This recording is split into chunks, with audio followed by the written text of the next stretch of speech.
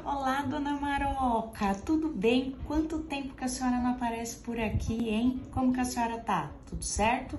E o que que traz a senhora aqui? Me conte.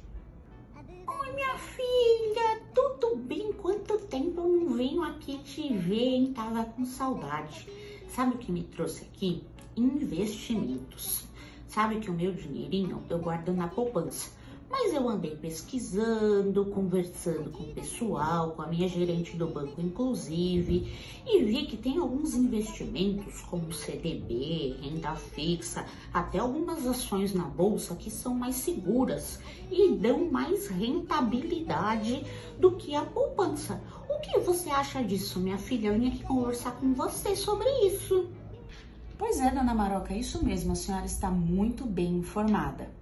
A poupança ainda é um dos investimentos considerados mais seguros, porém a rentabilidade dele é baixa e é a longo prazo, algo que o idoso não tem, né? Que a gente sabe que é tempo. Então, por isso é indicado que encontre-se alguns investimentos que também sejam seguros, mas que rendam um pouco mais em menos tempo, como os que a senhora citou, aplicações em rendas fixas, CDBs, que podem ser feitos diretamente com o banco. Ai, muito obrigada pelos esclarecimentos. Você sabe que na nossa idade tudo tem que ser feito de forma mais segura, né, minha filha?